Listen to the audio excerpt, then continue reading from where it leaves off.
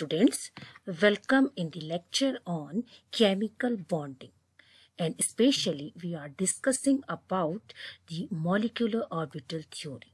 Okay. तो बच्चों, आपका स्वागत है इस लेक्चर सीरीज़ में, जहाँ पर हम केमिकल बॉन्डिंग के बारे में पढ़ रहे हैं और इसमें हम स्पेशली डिस्कस कर रहे हैं मॉलिक्यूलर ऑर्बिटल थ्योरी को। और इससे पहले हमने जो दो लेक्चर मॉलिक्यूलर ऑर्बिटल थ्योरी के बारे में जो हमने पढ़े, उसमें हमने क्या पढ़ा? उसमें हमने पढ़ा कि मॉलिकुलर ऑर्बिटल थ्योरी के सैलियंट फीचर्स क्या होते हैं?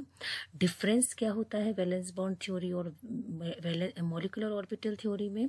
What is the difference between molecular orbitals and atomic orbitals and what is the difference between bonding molecular orbitals and anti bonding molecular orbitals okay उसके बाद आपने देखा कि जो नेक्स्ट लेक्चर था, उसमें हमने देखा कि किस तरीके से मॉलिकुलर ऑर्बिटल्स का फॉर्मेशन होता है। तो मॉलिकुलर ऑर्बिटल्स का फॉर्मेशन जो है वो एस एस ऑर्बिटल जब ओवरलैप करेगा एस पी जब ओवरलैप करेगा पी पी ओवरलैप करेंगे तो किस तरीके से वो मॉलिकुलर ऑर्बिटल्स फॉर्म करेंगे? अब हम इस लेक्चर में हम पढ़ेंगे कि हम molecular orbital energy level diagram कैसे ड्रॉ करेंगे। मतलब जो एनर्जी लेवल डायग्राम्स होते हैं मॉलिकुलर ऑर्बिटल्स के लिए, उन्हें हम कैसे ड्रॉ करेंगे? तो उसे हम इस लेक्चर के माध्यम से सीखेंगे। हमें molecular orbital energy level diagram draw करना हो तो हमें क्या करना होगा?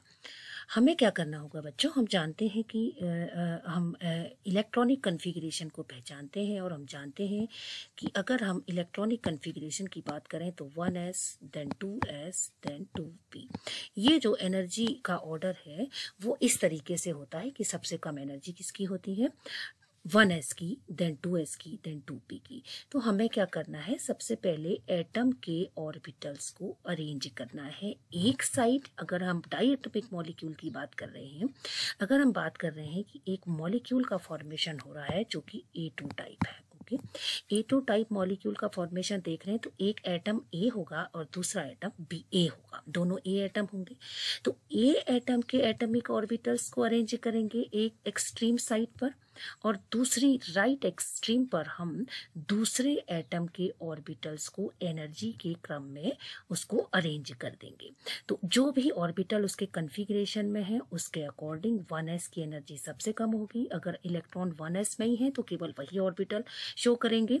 अगर और इलेक्ट्रॉन्स केवल वन एस टू और टू एस टू में है तो वन एस भी शो करेंगे और टू एस भी शो करेंगे। और अगर इलेक्ट्रॉन्स वन एस में है टू एस में है और टू पी में भी है तो हम ये तीनों एटमिक ऑर्बिटल्स को एनर्जी के बढ़ते हुए क्रम में लेफ़्ट साइड में और राइट साइड में रखेंगे, जो कि एटम के एटमिक ऑर्बिटल्स होंगे ओके तो जब हम ये कर देंगे, अब हम इसको ड्रॉ करेंगे। जब हम ये ड्रॉ कर रहे होंगे तो उस समय आप देखेंगे कि हम जो है ए ए हमने मान लिया, ठीक है?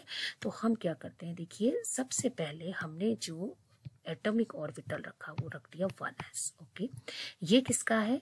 ए का। ए का क्या है? एटॉमिक ऑर्बिटल एक एटम का जो कि लीनियरली कंबाइन करने वाला है। फिर हमने क्या किया? दूसरा जो ऑर्बिटल है, जिसकी एनर्जी से ज़्यादा होती है, वो है टू एस ऑर्बिटल और उसके बाद जो ऑर्बिटल है, वो क्या है? टू पी ऑर्बिटल ओके तो पहले हमने इनको अरेंज कर दिया।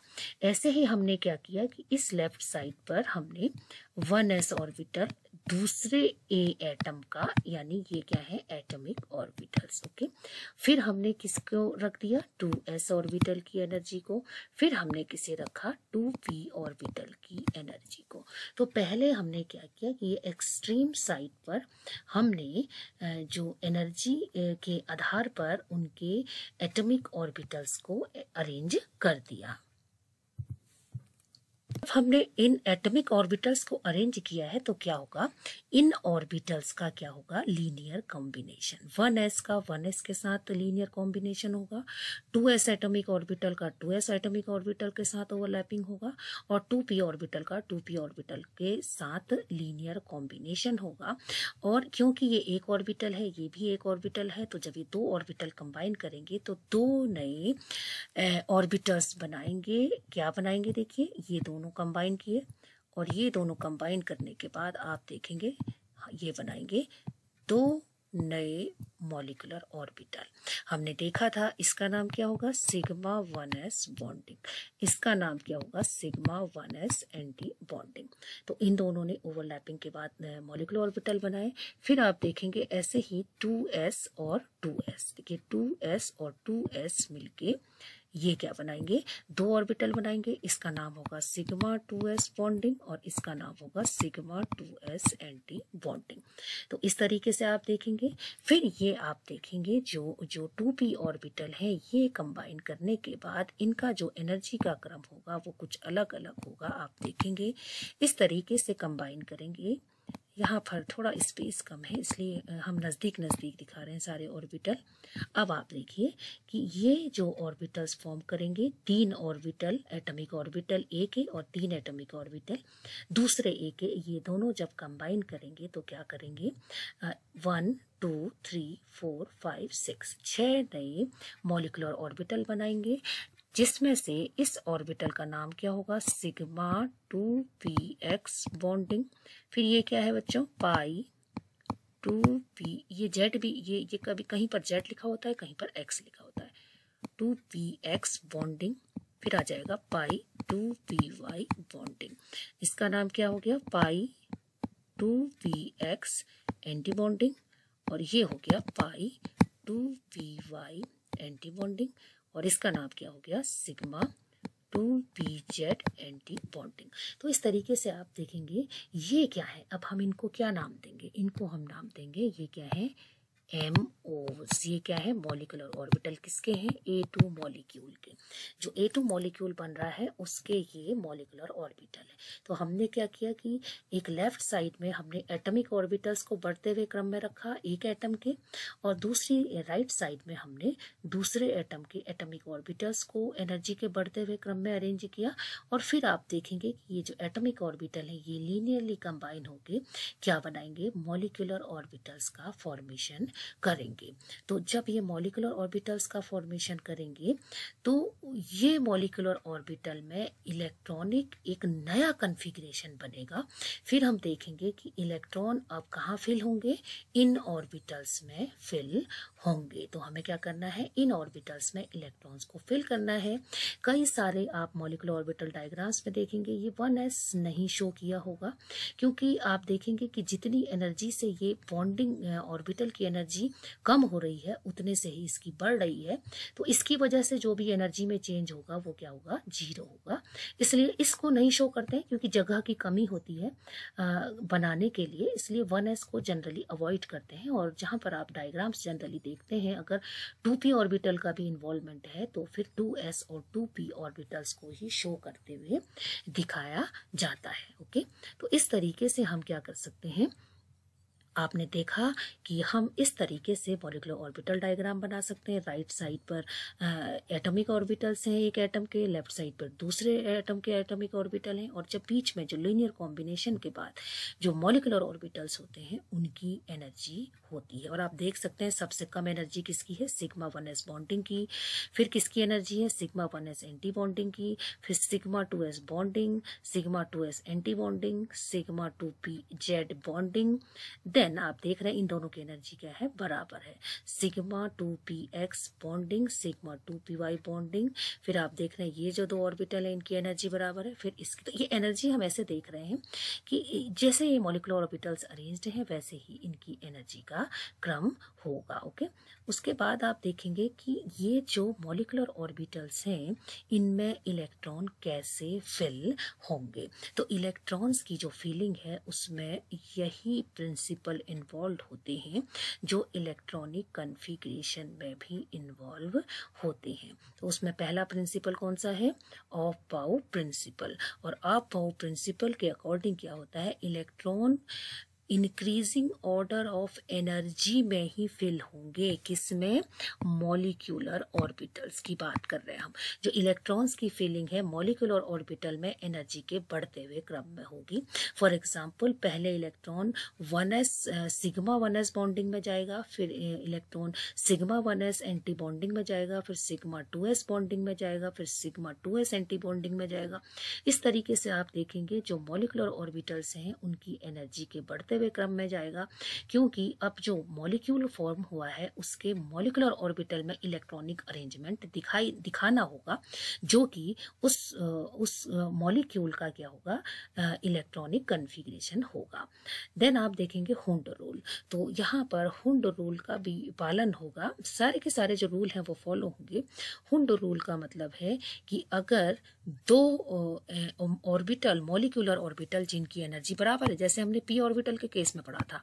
तीन ऑर्बिटल जिनकी एनर्जी बराबर है, पहले इलेक्ट्रॉन क्या होते हैं? सिंगली भरते हैं, then only pairing will takes place. इसी तरीके से मैंने आपसे कहा कि दो मॉलिकुलर ऑर्बिटल हैं, एक है pi two p x bonding और एक है pi two p y bonding, क्योंकि इनकी एनर्जी बराबर है। तो यहाँ पर हुंड रूल अप्लाई होगा तो एक इलेक्ट्रॉन यहाँ भरेगा, फिर एक इलेक्ट्रॉन यहाँ भरेगा, then only pairing will takes place. तो हुंड रूल के अकॉर्डिंग इलेक्ट्रॉन्स की फिलिंग होगी इलेक्ट्रॉन अगर दो मॉलिकुलर ऑर्बिटल की एनर्जी बराबर है तो इलेक्ट्रॉन पहले सिंगली भरेंगे then only they will pair up तीसरा जो रूल है पॉलीज एक्सक्लूजन प्रिंसिपल वो भी यहाँ पर फॉलो होता है कि एक जो मॉलिकुलर ऑर्बिटल होगा, वो मैक्सिमम दो इलेक्ट्रॉन उसमें हो सकते हैं और दोनों इलेक्ट्रॉनों की स्पिन क्या होगी? अपोजिट होगी। तो एक मॉलिकुलर ऑर्बिटल देखिए, दो इलेक्ट्रॉन आ रहे हैं और दूसरा मॉलिकुलर ऑर्बिटल जिसमें कि दो इलेक्ट्रॉन आ रहे हैं तो मैक्सिमम नंबर ऑफ़ इलेक्ट्रॉन तो दो हैं और इन दोनों की जो स्पिन है, वो क्या होगी? अपोजिट होगी ओके फिर आप देखेंगे जो इलेक्ट्रॉन फिलिंग होगी मॉलिकुलर ऑर्बिटल्स में, उसकी इसकी हेल्प से हमें मॉलिक्यूल का इलेक्ट्रॉनिक कन्फिग्रेशन मिलेगा। तो मॉलिक्यूल का इलेक्ट्रॉनिक कन्फिग्रेशन हमें कैसे मिलेगा? जब हमें जब हम उसमें क्या करेंगे? इलेक्ट्रॉन की फिलिंग कर देंगे। फिर हम देखेंगे कि ये जो molecular orbital energy level diagram है, उससे हमें क्या इन्फॉर्मेशन मिलेगी। तो उससे हमें क्या इन्फॉर्मेशन मिल सकती है? दो मेन इन्फॉर्मेशन मिलेंगी। एक हमें मिलेगा magnetic behaviour of particular molecule उस पर्टिकुलर मॉलिक्यूल का मैग्नेटिक बिहेवियर क्या है, एक तो हमें ये पता चलेगा। दूसरा हमें पता चलेगा कि उसका बॉन्ड ऑर्डर कितना है। उस मॉलिक्यूल में बॉन्ड ऑर्डर कितना है। तो जो दो मेन इन्फॉर्मेशन है है, वो एक है मैग्नेटिक बिहेवियर का पता चलता है और दूसरी जो इन्फॉर्मेशन है वो हमें बॉन्ड ऑर्डर का पता चलता है। तो ये दो मेन इन्फॉर्मेशन है। इसमें अब हम पहला अगर लें कि जो मैग्नेटिक बिहेवियर है, उसका हमें कैसे पता चलेगा?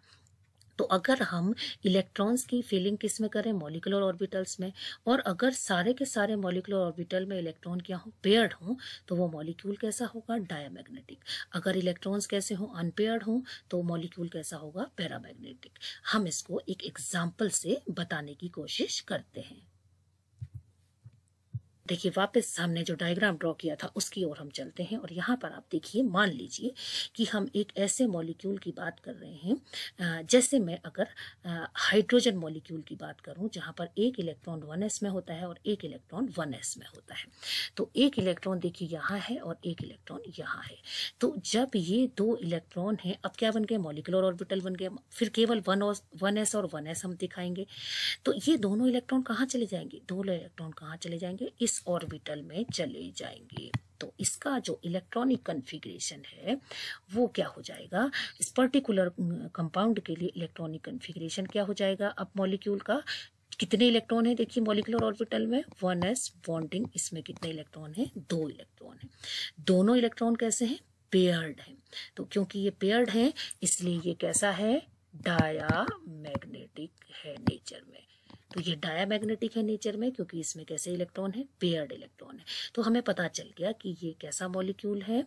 डायामैग्नेटिक अगर यहाँ पर इन मॉलिकुलर ऑर्बिटल्स में इलेक्ट्रॉन अनपेयर्ड हो तो वो कैसा होगा? पैरामैग्नेटिक, जिसे आप अनुचुंबकीय भी कहते हैं, और अगर ये पेयर्ड होगा तो डायामैग्नेटिक होगा, जिसे आप प्रतिचुंबकीय पदार्थ भी कहते हैं। तो एक इन्फॉर्मेशन तो हमें ये मिलेगी कि हमें ये जो नया कन्फिग्रेशन मिला, यहाँ पर पेयर्ड इलेक्ट्रॉन है या अनपेयर्ड है, उससे हमें पता चलेगा कि मॉलिक्यूल डायमैग्नेटिक है या पैरामैग्नेटिक है। दूसरी प्रॉपर्टी जो हमने कहा कि हमें इससे पता चलेगा बॉन्ड ऑर्डर के बारे में। अब ये बॉन्ड ऑर्डर क्या होता है? बॉन्ड ऑर्डर क्या होता है? इसके लिए हम एक फॉर्मूला बताएँगे। बॉन्ड ऑर्डर क्या होता है बच्चों? देखिए, bond order is equal to क्या होता है? Bond order is equal to होता है one upon half okay and number of electrons in bonding MOs. Bonding molecular orbitals minus number of electrons in anti-bonding molecular orbitals. अगर हम ये number of electrons in bonding molecular orbitals और number of electrons in anti bonding molecular orbitals को uh, का difference देखें उसको to से divide करें तो हमें क्या मिलेगा? बॉन्ड ऑर्डर मिलेगा। फॉर एग्जांपल देखिए अभी जो हमने यहाँ पर इलेक्ट्रॉन की फीलिंग की है तो यहाँ पर हम इसी एग्ज़ाम्पल को लेते हुए चलते हैं तो यहाँ पर बॉन्डिंग में कितने इलेक्ट्रॉन हैं? टू एंटी बॉन्डिंग में कितने इलेक्ट्रॉन हैं? ज़ीरो तो बॉन्ड ऑर्डर क्या हो जाएगा? बॉन्ड ऑर्डर हो जाएगा, देखिए हाफ़ इंटू कितने इलेक्ट्रॉन्स हैं बॉन्डिंग पर? टू माइनस एंटी बॉन्डिंग में कितने हैं? ज़ीरो तो बॉन्ड ऑर्डर कितना हो जाएगा? वन तो आप देखिए बॉन्ड ऑर्डर की वैल्यू कितनी हो गई? वन तो अब इससे हमें क्या पता चलेगा? इससे हमें पता चलता है कि अगर बॉन्ड ऑर्डर वन आता है, इसका मतलब है कि सिंगल बॉन्ड है। इसका मतलब क्या है? बॉन्ड सिंगल है। और अगर बॉन्ड ऑर्डर टू आता है तो दो एटम्स के बीच में डबल बॉन्ड है। अगर बॉन्ड ऑर्डर थ्री आता है तो दो एटम्स के बीच में ट्रिपल बॉन्ड है। अगर बॉन्ड ऑर्डर ज़ीरो आता है, कई जगह पर बॉन्ड ऑर्डर ज़ीरो आता है, आप देखेंगे, इसका मतलब मॉलिक्यूल एग्जिस्ट नहीं करता।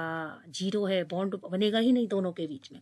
इसका मतलब बॉन्ड नहीं है। तो जैसे हमारे पास जो है, हमने देखा अभी इस एग्ज़ाम्पल में कि ये जो बॉन्ड ऑर्डर है, एक आया। इसका मतलब है ए और ए के बीच में कितने बॉन्ड है? सिंगल बॉन्ड तो अगर ये बॉन्ड ऑर्डर ज़ीरो होगा तो इसका मतलब है कि बॉन्ड बन ही नहीं रहा है। तो इसका मतलब है कि वो मॉलिक्यूल एग्जिस्ट नहीं करेगा। तो ये इन्फॉर्मेशन मिलेगी। दूसरा आप देखेंगे जो बॉन्ड ऑर्डर है it is directly proportional to bond dissociation energy in the atomic molecule bond order जितना अधिक होगा, उतना मुश्किल होगा बॉन्ड को तोड़ना एक डायटमिक मॉलिक्यूल में, क्योंकि बॉन्ड डिसोसिएशन एनर्जी भी उतनी अधिक लगेगी। देखिए, जितना अधिक बॉन्ड ऑर्डर होगा बॉन्ड ऑर्डर को हम और कह सकते हैं it is directly proportional to bond strength तो जितना ज़्यादा बॉन्ड ऑर्डर होगा, उतनी ज़्यादा बॉन्ड स्ट्रेंथ होगी ओके और जितना ज़्यादा बॉन्ड ऑर्डर होगा बॉन्ड ऑर्डर जो है वो क्या होगा? इनवर्सली प्रोपोर्शनल होगा बॉन्ड लेंथ के। तो जितना ज़्यादा बॉन्ड ऑर्डर होगा, उतनी कम बॉन्ड लेंथ होगी। जितनी कम बॉन्ड लेंथ होगी, उतनी कम स्ट्रेंथ उतनी ज़्यादा स्ट्रेंथ होगी बॉन्ड की। तो हमें बॉन्ड ऑर्डर अगर पता होगा तो हम बॉन्ड स्ट्रेंथ भी बता सकते हैं। जितना ज़्यादा बॉन्ड ऑर्डर उतनी ज़्यादा स्ट्रेंथ, उतनी ज़्यादा एनर्जी देनी है, उतनी ज़्यादा बॉन्ड एसोसिएशन एनर्जी। जितनी अधिक बॉन्ड ऑर्डर, उतना कम बॉन्ड लेंथ, ओके? और उतनी स्ट्रॉन्ग जो है उस उतना ही बॉन्ड क्या क्या होगा? स्ट्रेंथ होगा। तो इस तरीके से आपने देखा बच्चों if you conclude this lecture then we will find हमने देखा कि हम किस तरीके से molecular orbital energy level diagram बना सकते हैं। और मॉलिकुलर ऑर्बिटल डायग्राम बनाने के लिए हम एक लेफ़्ट में एक एटम के एटमिक ऑर्बिटल्स की एनर्जी अरेंज कर दें, दूसरी साइड दूसरे एटम की एटमिक ऑर्बिटल्स की एनर्जी अरेंज कर दें देन इन बिटवीन जो मॉलिकुलर ऑर्बिटल्स हैं, वो फॉर्म होते हैं। और अगर इन मोलिकुलर ऑर्बिटल्स में जो इलेक्ट्रॉन्स की फीलिंग होती है, वो according to aufbau rule according to Hund rule according to Pauli exclusion principle होती है। और ये जो जो एम होता है, इससे हमें क्या हेल्प मिलती है? एक तो हम मैग्नेटिक बिहेवियर का पता बता सकते हैं, दूसरा हमें बॉन्ड ऑर्डर पता चलता है, और अगर हमें बॉन्ड ऑर्डर पता चलेगा तो हमें उस पर्टिकुलर मॉलिक्यूल की एग्जिस्टेंस एंड नॉन एग्जिस्टेंस के बारे में, उसकी स्ट्रेंथ के बारे में हमें पता चल जाएगा okay so this is all about the drawing of molecular orbital energy level diagrams. In the next lecture, we will meet again and we'll discuss about the molecular orbital energy level diagrams of homonuclear diatomic molecules and some informations generated from these MOED. Okay, so thank you very much.